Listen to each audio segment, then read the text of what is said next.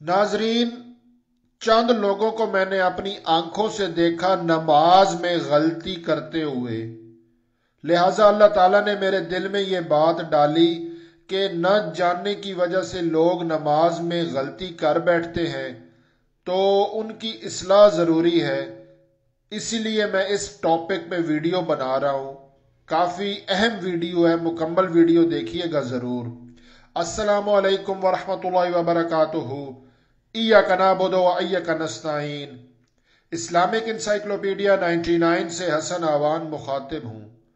नाजरीन, असर और इशा की जो चार सुनते हैं, फर्जों से पहले अगर आपके पास टाइम है, आप वक्त के साथ मस्जिद पहुँच गए, वज़ू कर लिया और जमात में अभी पाँच दस मिनट बाकी हैं तो आप चार सुनते पढ़ लें। ये गैर मुकदा सुनते हैं, लेकिन इनके पढ़ने की तरतीब थोड़ी मुख्तलिफ़ है। आप नियत बाँध ली, नमाज़ शुरू कर दी। जब दो रक्तों के बाद अतहियात बैठते हैं तो ये जो गैर मुकदा सुनते हैं, चार फर्जों से पहले की, असर और ईशा दोनों की तरतीब सेम है, ये जान लें। इसमें दो रक्तों के बाद जब अतहियात बैठा जाता है तो पूरा अतहियात पढ़ना है आपने। रब जलनी भी पढ़ना है, यौम यकूम हिसाब। लेकिन सलाम नहीं फेरना और तीसरी रकत पे जब खड़ा होना है तो तीसरी रकत सुबहान कल्ला से शुरू करनी है, जैसा कि पहली रकत हम करते हैं। यहाँ पे लोग क्या करते हैं कि दो रक्तों के बाद जब खड़े होते हैं तो वो अशद अशद महमद अब्दू रसूल वो उंगली खड़ी करके और दरूज शरीफ और रब जलनी पड़े बगैर खड़े हो जाते हैं। ये तरीका मुकदा सुनते जो जोहर की हैं चार सुनते फर्जों से पहले ये उनका तरीका है। लेकिन असर और ईशा की जो चार सुनते हैं, ये गैर मौकदा है और इनका तरीका ये है कि दो रक्तों के बाद आपने पूरा अता याद पढ़ना है और तीसरी रकत सुबहाना कल्लामा से शुरू करनी, उसके बाद अल्हम्दुलिल्लाह पढ़ना, सूरत पढ़नी, रकू करना है समय अल्लाह हमीदा। उसके बाद फिर दो सजदों के बाद आप चौथी रकत अल्हम्दुलिल्लाह से पढ़ेंगे और उसके साथ भी सूरत पढ़ेंगे। और इस तरह आपने ये नमाज़ मुकम्मल कर लेनी है।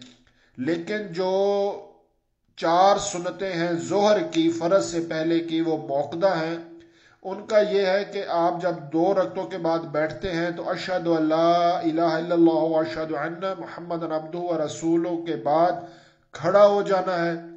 और उसमें आपने तीसरी रकत अल्हम्दुलिल्लाह से शुरू करनी है। सुबहाना कल्लोमा से नहीं करनी। अल्हम्दुलिल्लाह पढ़नी है, सूरत भी पढ़नी है, और चौथी रकत फिर इसी तरह अल्हम्दुलिल्लाह से और सूरत पढ़नी है, और ये आप चार सुनतें पूरी करेंगे मौकदा की। और अगर आपकी जोहर की चार सुनतें रह गई हैं मतलब आप मस्जिद गए, जमात का टाइम शुरू है या जमात हो रही है तो उसके पढ़ने की तरतीब ये है कि आप चार फ़र्ज़ जमात से पढ़ें, उसके बाद आप दो सुनते पढ़ें, जैसा कि नमाज़ की तरतीब है। क्योंकि ये चार सुनते तो आपकी रह गई हैं तो ये बेहतर ये है कि चार फर्जों के बाद दो सुनते पढ़ी जाएँ, उसके बाद ये चार सुनते पढ़ी जाएँ और फिर दो नफल हैं। इसके अलावा जो अहम गलती मैंने लोगों में देखी, वो ये है कि आप जब जमात के साथ शामिल होते हैं और आप इमाम के साथ आप आखिरी रकत में शामिल होते हैं। फजर की तो है ही दो रखते आखिरी में शामिल हुई, एक आपने पढ़नी है, वो तो आसान है। अब जो है जोहर, असर, मगरब और ईशा इसकी मैं आपको तरतीब बता दूँ। आप आखिरी रकत में जब इमाम के साथ आप शामिल हो गए, पहले मगरब का बता देता हूँ, क्योंकि तीन रखते हैं यहाँ पे लोग गलती करते हैं। आप तीसरी रकत में शामिल हो गए, इमाम साहब ने सलाम फेर दिया। यहाँ पर भी लोग गलती ये करते हैं कि जब आपकी रखते कोई रह गई हैं, एक या दो तो आपने अतहियात पूरा नहीं पढ़ना इमाम के पीछे। आपने अशद अशद मोहम्मद अब्दू व रसूल उसके बाद खामोश हो जाना है। इमाम जब नमाज़ मुकम्मल करेगा, एक सलाम फेरेगा और दूसरे सलाम की तरफ़ फेरने लगेगा तो आपने खड़ा होना है। कुछ लोग फ़ौरन खड़े हो जाते हैं, जैसे इमाम पहला सलाम फेरता है। यहाँ पर क्या होता है कि बाज दफ़ा इमाम भूलता है नमाज़ में और वो सईदा साहब के लिए एक सलाम फेर के उसने सईदा करना होता है। लेकिन लोग खड़े हो जाते हैं तो ये तरीका दुरुस्त नहीं है, क्योंकि अगर इमाम नमाज़ में भूला है और वो सजदा सा के लिए उसने जब एक तरफ़ सलाम फेरा है तो पीछे जो मुक्तदी हैं, उनको भी ये लाजिम है कि वो एक तरफ़ सलाम फेरे, इमाम जैसे फेरता है, उसके बाद वो जैसे इमाम अल्लाह अकबर करेगा, सजदा करेगा तो पीछे मुक्तदी जिसकी रखते रह गई हैं, वो भी ऐसे ही सजदा करेगा। लिहाजा थोड़ा रुके, जब इमाम एक सलाम फेर ले और दूसरा सलाम फेरने लगे तो आप खड़े हो जाएँ।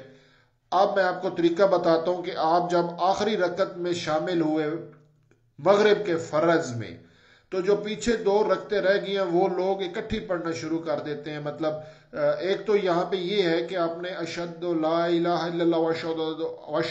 मोहम्मद अब्दू पढ़ के खामोश हो जाना है। आप जब खड़े होंगे तो आपने सुबहाना कल्ला उम्मा से शुरू करना, क्योंकि आपकी पहली रकत रही है, आप तीसरी रकत में शामिल हुए लेकिन सुबहाना कल्ला से शुरू करना है, अल्हम्दुलिल्लाह पढ़नी है, उसके बाद सूरत पढ़नी है, रकू किया समय हमीदा, फिर दो सजदे किए, दो सजदों के बाद लोग खड़े हो जाते हैं कि वो यहाँ पे इस तरह ये गलती करते हैं जबकि आपने एक रकत पढ़ने के बाद अतहियात बैठ जाना है।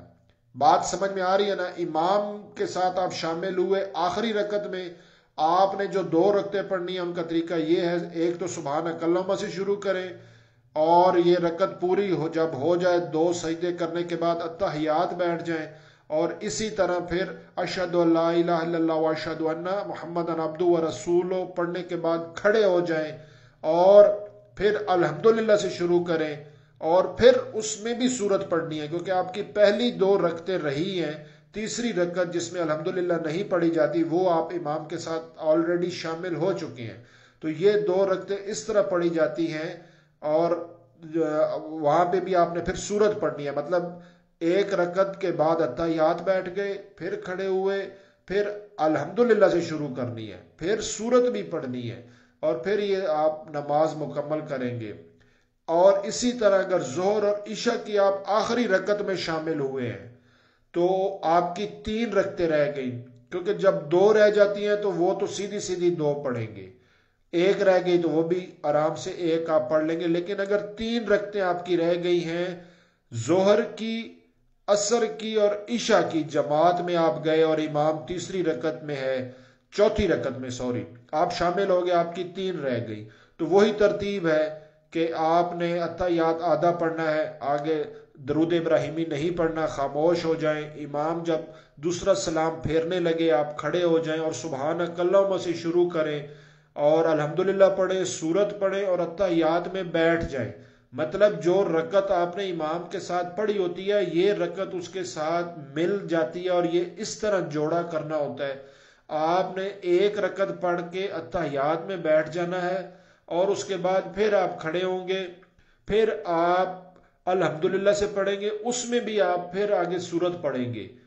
पहली रकत सुबहाना कल्लमा से शुरू की मतलब आप इमाम के साथ आखिरी रकत में शामिल हुए, फिर इमाम सलाम फेरने लगा, आप खड़े हो गए सुबहाना कल्लमा से शुरू किया, सूरत पढ़ी, फिर याद में बैठ जाना है, फिर खड़े हो गए, फिर अल्हम्दुलिल्लाह से शुरू किया, पूरी सूरत फातिहा पढ़नी है, फिर सूरत भी पढ़नी है और उसके बाद फिर रकू और सजूद करने के बाद आप खड़े होंगे, फिर अल्हम्दुलिल्लाह पढ़ना है और फिर वलदवालीन आमीन तक पढ़ना है।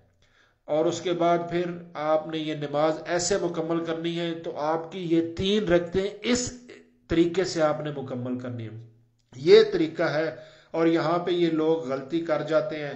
मैंने देखा कि ये बहुत अहम मसाइल हैं और दूसरा ये कि कुछ लोग थोड़ा जल्दी कर जाते हैं, क्योंकि हम जब नियत करते हैं पीछे से इमाम के अल्लाह अकबर तो जब इमाम अल्लाह अकबर करता है तो उसे एक दफ़ा नीचे रकू में जाने दिया करे, या जब वो नमाज़ शुरू करता है तो इमाम से कुछ सेकंड पीछे आपके अमल होने चाहिए। आप इमाम से आगे नहीं निकल सकते। मैंने देखा कि अभी इमाम सईदे में जा रहा होता है, कुछ नौजवान इमाम से पहले ही सईदे में चले जाते हैं। तो ये तरीका दुरुस्त नहीं है। इमाम के पीछे आपने रहना होता है। और ये कुछ अहम मसाइल थे जो मैंने नोटिस किए और मैंने कहा कि ये अवाम में इनकी आगाही बहुत ज़रूरी है। नमाज़ का मसला है। हमारी माएँ, बहनें, बेटियाँ क्योंकि कम मस्जिदों में जाती हैं, घरों में नमाज़ पढ़ती हैं, लेकिन कोई जुमा में जाती है या फिर कुछ मस्जिदों में औरतों के लिए अलग पर्दे का निज़ाम होता है, क्योंकि औरत तो जमात नहीं करा सकती। इमाम मर्द होता है लेकिन स्पीकर लगा होता है तो औरतें काफ़ी मिस्टेक्स करती हैं।